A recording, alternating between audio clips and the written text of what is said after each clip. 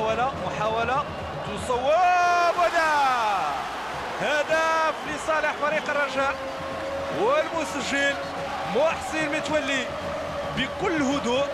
يعني آه، كيسجل هدف 1-0 في حدود الدقيقة 36 إذا آه، نقول هدف واحد مقابل لا شيء.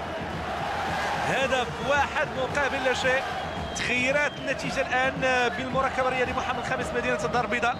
من نقطة الجزاء يتمكن محسن متولي من تسجيل الهدف الأول. صراحة ما كرهش نشوف ردة الفعل الجماهير.